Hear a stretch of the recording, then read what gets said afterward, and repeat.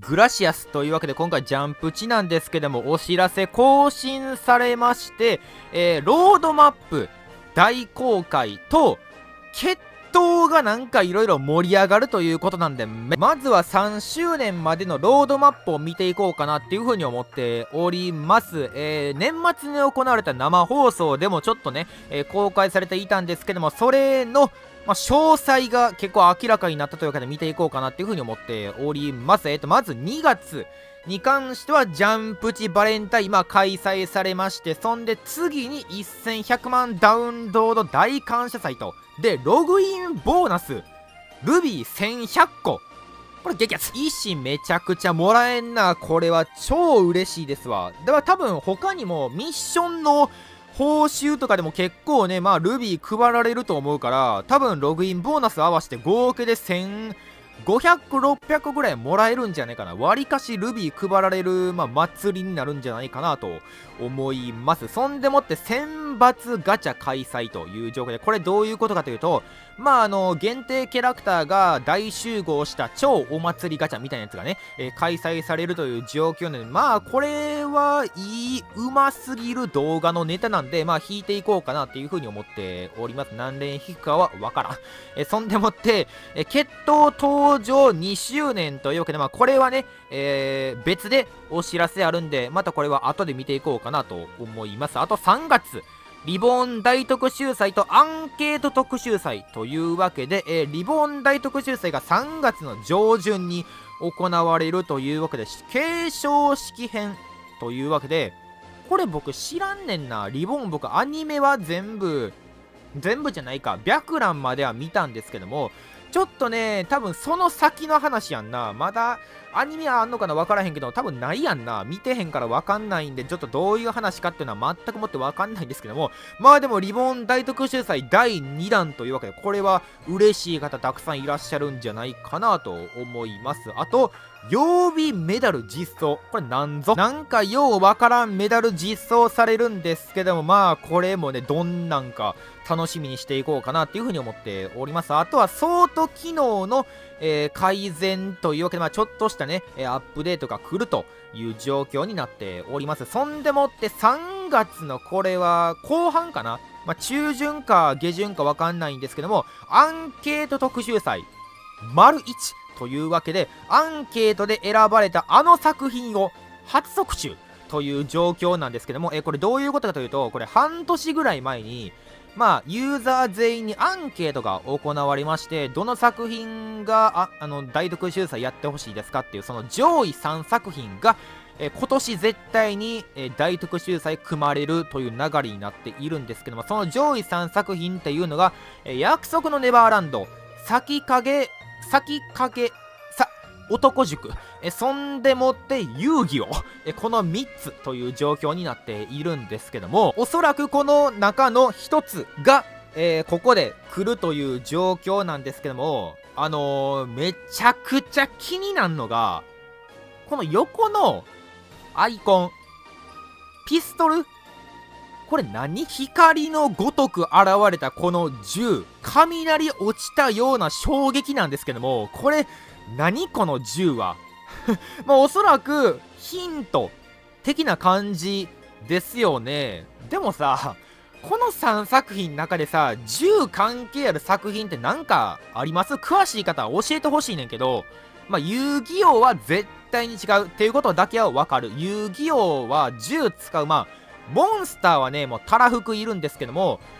まあそれやったら絶対にカードとかそういうね、シルエットを出すと思うから、銃は絶対にないと、まあ僕は思うんですよ。あと、男塾とヤクネバってなんか銃関係あんのかな？ヤクネバは僕、まあアニメしか見たことないんですけども、アニメ1期の時点で銃使う描写なんかなかったし、というか銃使ってたら100%あんな世界もう征服してたと思うから、戦争起こってたんで、それは絶対にちゃうでしょ ?2 期でなんか、今、弓矢使って戦ってますよね、弓矢。だから、その弓矢を、なんかいろいろ改善して銃作ろうぜとかいうドクターストーン的な科学文明起こるんかな？まあその辺よくわかんないんですけども、どうなんかな？男塾。男塾ってどういう作品なんかちょっとよくわかんないんですけども銃とか使うん？ええー、なんやろ全くわからんわ。これちょっと詳しい方コメント回ってますわ。ジャンプの中で銃関係あるって言ったらワートリワールド、ちゃうな。ワートリって銃使わんか。もうトリガー、トリガーっていうのに引っ張られたな。それは申し訳ない。まああのー、全く関係ないけど僕はあのー、この背景ピンクやん。この3月。背景ピンクで銃。僕これもうガンゲイルオンラインしか出てこないんですけども、それはまあ、まあ、なんなんやろ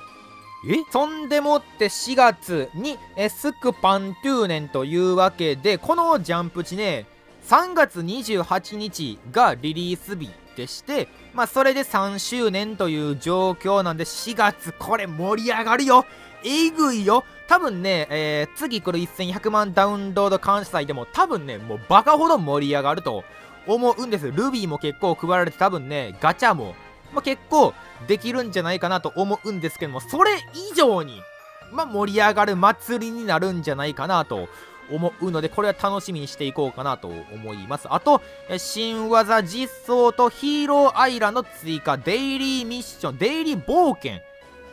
扉の間、えと、超次元バトルと超決闘というわけで、まず新技実装というわけで、これは何なんかな？新技実装？えー、なんなんやろ？なんか必殺技で新しいギミックが来るとかなんかな？後で考えられるとしたらわかんないんですけどもまあこれは続報ぜひとも待とうかなと思います。あとヒーローアイラの追加。これはまあ前々からもめちゃくちゃ言われてたんでこれはぜひとももう全作品追加してほしい今来てるキャラクター。もうバカほど追加してほしいなと個人的には思います。あと僕、まあ、ちょっとした考察をするならばこの3周年のタイミングで僕まあ、この辺で僕、呪術廻戦とか来るんちゃうんかなと思ってるから、ヒーローアイランドでも呪術追加みたいなね、なんかそういうのもわりかし来たら激アツなんじゃないかなと思う。鬼滅は絶対に来る。100%言っておく、鬼滅は絶対に来るんじゃないかなと思います。あと、デイリー冒険扉の間、これはね、まあおそらく1日1回挑戦できる、えイベントの間とか記念の扉とか、ああいうえ限界突破に必要な扉の素材がえ1日1回、まあ、ゲットできるっていう、まあ、イベントなんじゃないかなそれが常設されるんじゃないかなと思う。まあそれは嬉しいな。今も扉不足にも程があるんで、まあ、ぜひともそれであってほしいなと僕は思う。あとなんかようわからん超次元バトルと超決闘と。これ楽しみ。っていうロードマップでございました。まあ、まだまだ盛り上がるんで、まあ、ぜひともやっていこうかなと思います。はい。えー、そんでもって決闘2周年キャンペーンとか、本題はこっからなんすわ。今動画何分ですか？もう9分ぐらいかな投げ。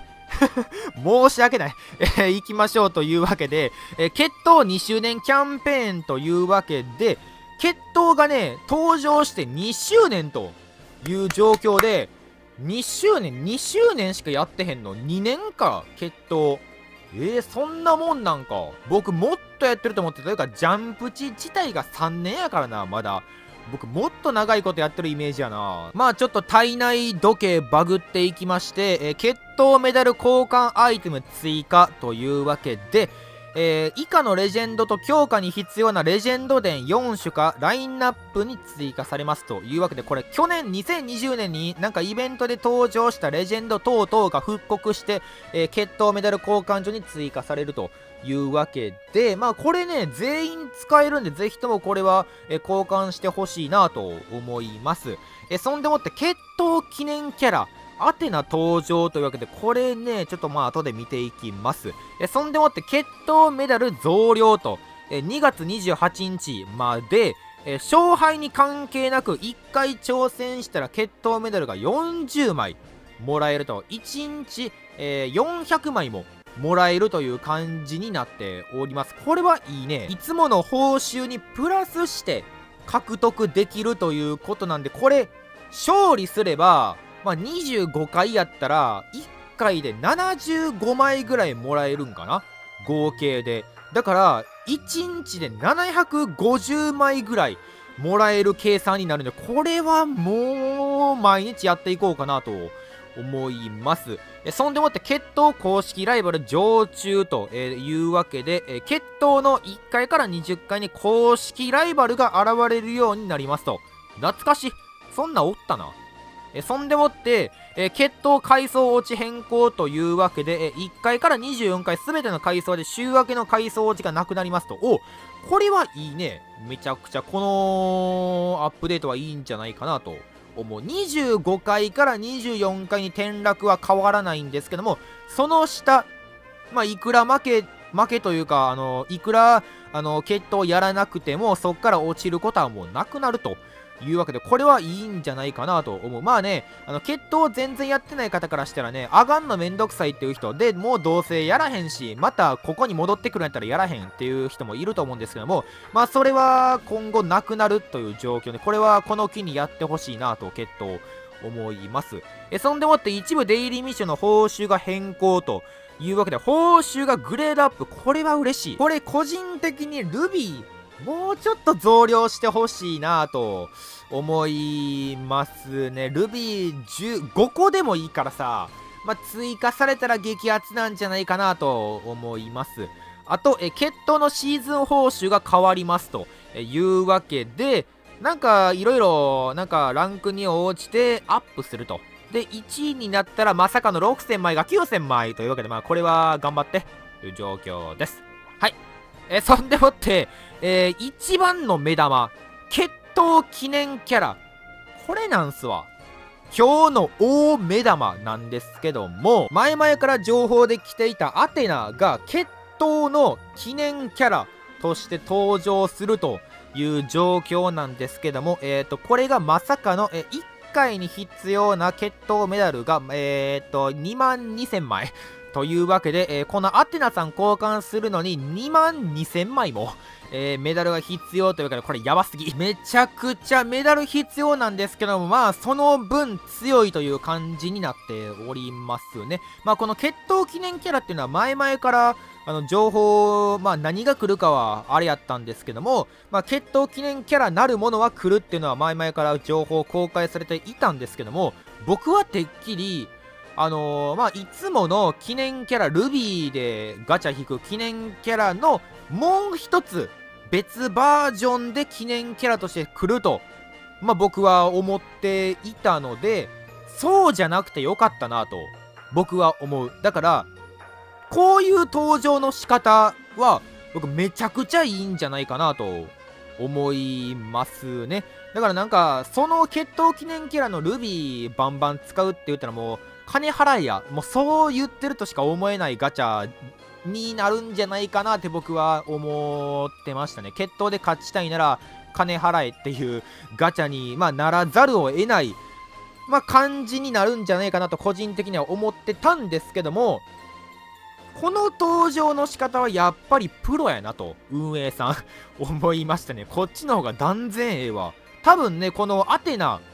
まあ、第1弾決闘記念キャラなんですけども、この先も、第2弾、第3弾として、まあ、100%何かしら来ると僕は思ってるんで、まあ、その、